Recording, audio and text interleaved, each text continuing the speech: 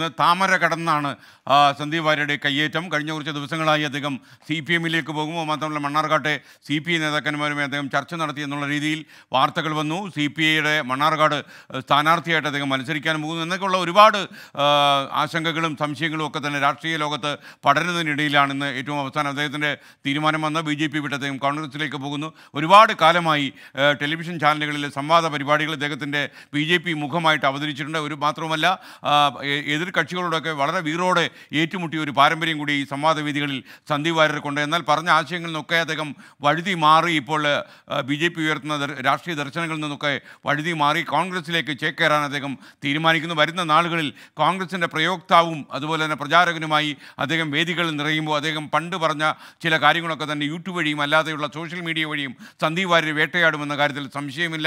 കോൺഗ്രസ് ഒക്കെ തന്നെ പല രീതിയിൽ അധിക്ഷേപിക്കപ്പെട്ട സംവാദ വേദികളുണ്ടാകും ഇതൊക്കെ തന്നെ ആളുകൾ അതിഥികളൊക്കെ തന്നെ സന്ദീപ് വാര്യരോട് ചോദിച്ചൊന്നും വരും. എന്നാലും കുറച്ച് ദിവസങ്ങളായി താൻ അവഗണിക്കപ്പെടുന്നു. തങ്ങളൊരു വാക്ക് പറയാൻ ആരുമില്ലല്ലോ എന്നുള്ള വിലാപങ്ങളൊക്കെ അദ്ദേഹം ഉയർത്തുമ്പോൾ ഒരു ബി ജെ പി നേതാവ് അദ്ദേഹത്തെ സന്ദർശിക്കാൻ തയ്യാറായില്ല എന്ന് മാത്രമല്ല അദ്ദേഹത്തിന് അദ്ദേഹത്തിന്റെ മുറിവിൽ കൂടുതൽ ഉപ്പ് തേക്കാനാണ് ആളുകൾ ശ്രമിച്ചത് എന്നുകൂടി അദ്ദേഹം പറയുന്നു. സമാധാനത്തോടെ ഒരു വാക്ക് പറയാൻ ആരെയും കിട്ടിയില്ല. അതിനിടയിൽ എ. ജയകുമാറിനെ പോലെയുള്ള സമുന്നതരായ ആർ എസ് എസ് നേതാക്കൾ അദ്ദേഹത്തിന്റെ വീട്ടിലെത്തി അദ്ദേഹത്തോട് സംസാരിച്ചു എങ്കിൽ പോലും ആ, അദ്ദേഹത്തിനെ അനുനയിപ്പിക്കാൻ അവർക്കാർക്കും കഴിഞ്ഞില്ല. കാര്യം അദ്ദേഹം ഉയർത്തുന്ന പ്രശ്നങ്ങൾ കഴിഞ്ഞ കുറച്ചധികം കാലമായി പാലക്കാട്ടെ ഈ ബി ജെ പി നേതൃത്വം അദ്ദേഹത്തോട് കടുത്ത അവഗണന കാണിക്കുന്നു എന്നുള്ളതാണ്. അതിന് ആർ എസ് നേതൃത്വത്തിന് എന്ത് പരിഹാരം നിർദ്ദേശിക്കാൻ കഴിയും എന്ന കാര്യത്തിൽ സംശയമുണ്ടായിരുന്നു ഇപ്പോൾ നമുക്കൊപ്പം എസ് വിജയകുമാർ കൂടി ന്യൂസ് ഡെസ്കിൽ നിന്ന് ചേരുകയാണ്. വിജയകുമാർ ഈ ഒരുപക്ഷെ വലതുപക്ഷ രാഷ്ട്രീയത്തിന്റെ പ്രയോക്താവായി സംവാദവേദികൾ നിറയുന്ന സന്ദീപ് വാര്യർക്ക് ഈ പുതിയ കാലത്തിൽ എന്തൊക്കെയായിരിക്കും ഏറ്റവും വലിയ വെല്ലുവിളികളായി മാറുക? എസ് കെ സന്ദീപ് വാര്യരെ സംബന്ധിച്ച് കോൺഗ്രസിനെ കടുത്ത ഭാഷയിൽ വാർത്താ സമ്മേളനങ്ങളിലും അതുപോലെ ടെലിവിഷൻ ചർച്ചകളിലും വിമർശിച്ചിട്ടുള്ളതാണ്. അത് ആ പഴയ വിമർശനങ്ങൾ തന്നെയായിരിക്കും സന്ദീപ് വാര്യർക്ക് വലിയ വെല്ലുവിളിയാകാൻ പോകുന്നത്. അപ്പോൾ അതായിരിക്കാം ഒരുപക്ഷെ സന്ദീപ് വാര്യർക്ക് അതിന് തന്നെ മറുപടി പറഞ്ഞായിരിക്കും സന്ദീപ് വാര്യർക്ക് കോൺഗ്രസിലേക്ക് കടന്നു ചെല്ലാൻ കഴിയുക. അത് തന്നെയാണ് ഏറ്റവും പ്രയാസവും സന്ദീപ് വാര്യർ ദേശീയ തലത്തിൽ പ്രധാനമന്ത്രി നരേന്ദ്രമോദിയുടെ കേരളത്തിലെ എന്ന് വെച്ചാൽ ബി ഒരു വക്താവായി അദ്ദേഹത്തെ ന്യായീകരിച്ചിട്ടുണ്ട്. രാഹുൽ ഗാന്ധിയെ കടുത്ത ഭാഷയിൽ വിമർശിച്ചിട്ടുണ്ട്. കേരളത്തിലെ കോൺഗ്രസ് നേതാക്കളെ വിമർശിച്ചിട്ടുണ്ട്. പ്രിയങ്ക ഗാന്ധിയെ വിമർശിച്ചിട്ടുണ്ട്.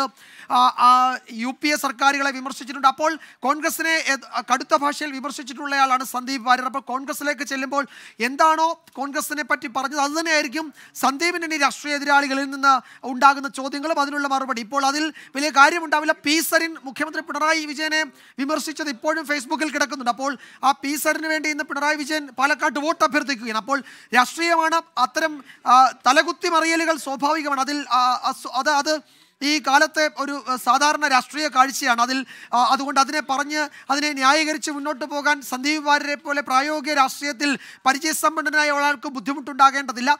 പക്ഷേ അതിനപ്പുറത്തേക്ക് സന്ദീപ് വാര്യർ ബി ജെ പിയിൽ അദ്ദേഹത്തിന് പരിഗണന കിട്ടിയിരുന്നില്ല. അപ്പോൾ കോൺഗ്രസിൽ അദ്ദേഹത്തിന് പരിഗണന കിട്ടുന്നത് എന്തായിരിക്കും? അദ്ദേഹത്തിന് അടുത്ത നിയമസഭാ തെരഞ്ഞെടുപ്പിൽ ഒരു സീറ്റ് കൊടുക്കുമോ? അങ്ങനെയാണെങ്കിൽ അത് ഏത് സീറ്റായിരിക്കും കൊടുക്കുക? അതിലൊരു ധാരണ ഉണ്ടായിട്ടാണോ Sandeep Warrier B J P വിട്ട് കോൺഗ്രസിലേക്ക് വരുന്നത്? അങ്- അങ്ങനെയൊക്കെയുള്ള ചോദ്യങ്ങൾ വളരെ ശക്തമാണ്. സന്ദീപ് വാര്യർ ഒരു ഘട്ടത്തിൽ ഇടതു പാർട്ടികളുമായി ചർച്ച നടത്തിയിരുന്നു എന്നത് സംബന്ധിച്ച് ഏറെക്കുറെ സ്ഥിരീകരിച്ച വിവരങ്ങൾ തന്നെ നമ്മളുടെ പക്കലുണ്ട്.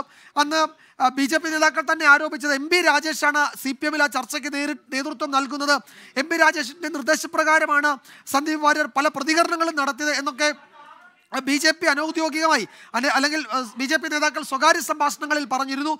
അതിനിടയിൽ സി പി ഐയുടെ ചില നേതാക്കൾ അദ്ദേഹത്തെ പോയി കണ്ടു കുമാർ ഒരു കൗണ്ടർ വാർത്താ സമ്മേളനം വരുന്നുണ്ടല്ലോ പി കെ കൃഷ്ണദാസിന്റെ പതിനൊന്നര മണിക്ക് സന്ധി വിഷയമായിരിക്കുമോ ഇതിൽ ചർച്ച ചെയ്യാൻ പോകുന്നത്? പി കെ കൃഷ്ണദാസ് ഈ വാർത്താ സമ്മേളനം നേരത്തെ വിളിച്ചതാണ്. അപ്പോൾ ഈ വിഷയത്തിലേക്കായിരിക്കും ആ വാർത്താ സമ്മേളനം കേന്ദ്രീകരിക്കുക. പാലക്കാട്ട് തെരഞ്ഞെടുപ്പ് പ്രചാരണത്തിനായി P K Krishnadas B J പിയുടെ ദേശീയ സമിതി അംഗമാണ് പ്രധാനപ്പെട്ട ഒരു നേതാവാണ്. അപ്പോൾ സന്ദീപ് വാര്യരുമായി പി കെ കൃഷ്ണദാസ് പലവട്ടം ഒരു അനുരഞ്ജന ചർച്ച. എന്ന് വെച്ചാൽ അനൗപചാരിക അനൗദ്യോഗിക അനുരഞ്ജന ചർച്ച ബി ജെ പി നേതൃത്വത്തിന് വേണ്ടി സന്ദീപ് സന്ദീപിനെ പാർട്ടിയിൽ പിടിച്ചു നിർത്താൻ ഒരു ഇടപെടൽ നടത്തിയ നേതാവാണ്. അപ്പോൾ പി കെ കൃഷ്ണദാസുമായി കുറെ കൂടി അടുപ്പം സന്ദീപ് വാര്യർക്കുണ്ട്. ആ ബി ജെ പിയിലെ രാഷ്ട്രീയ ചേരികളിൽ കൃഷ്ണദാസുമായി കുറെ കൂടി അടുപ്പം സന്ദീപ് വാര്യർ കാത്തു സൂക്ഷിച്ചിരുന്നു അപ്പോൾ ആ- നിലയ്ക്ക് സന്ദീപിന്റെ ഒരു നേതാവെന്ന നിലയിൽ ഒരു നിമിഷം.